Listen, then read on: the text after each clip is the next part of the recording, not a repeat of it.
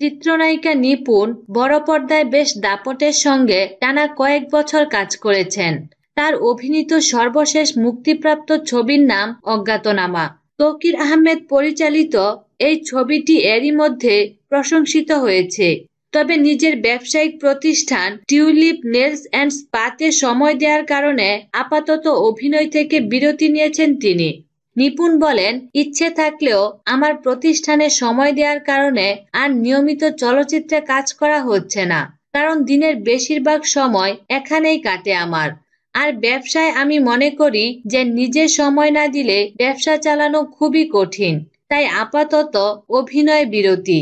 তবে সুযোগ হলেই ছোট ও বড় পর্দায় আবারও নিয়মিত কাজ করব। অনেকদিন নতুন কোনো ছবিতে চুক্তিবদ্ধ হননি দুবার জাতীয় চলচ্চিত্র পুরস্কারপ্রাপ্ত এই অভিনেত্রী। এম এ আউয়ালের রত্নগর্ভা মা ছবিতে অভিনয়ের মাধ্যমে ঢালিউডে তার যাত্রা শুরু হয়।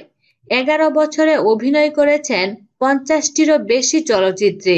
সর্বশেষ গত বছরের সেপ্টেম্বরে ভারতের শুভলগ্ন ফিল্মস ও বাংলাদেশের ইচ্ছে মতো প্রোডাকশন হাউজের ব্যানারে ছেড়ে যাস না ছবিতে একটি আইটেম গানে পারফর্ম করতে দেখা যায় তাকে।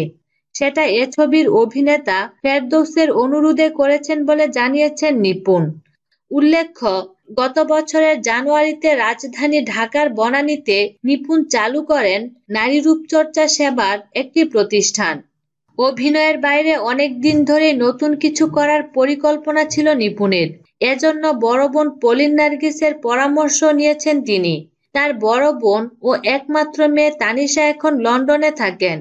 শীঘ্রই নিপুণ তার বড় বোন পলিন নার্গিসের সঙ্গে লন্ডনে একটি খাবারের দোকান চালু করতে যাচ্ছেন। সেটি চালু হলে আরও ব্যবসায়িক ব্যস্ততা বাড়বে নিপুণের। বিনোদন জগতের নিত্য নতুন খবরাখবর জানতে আমাদের চ্যানেলটিতে সাবস্ক্রাইব করার জন্য আপনাকে আন্তরিক ধন্যবাদ।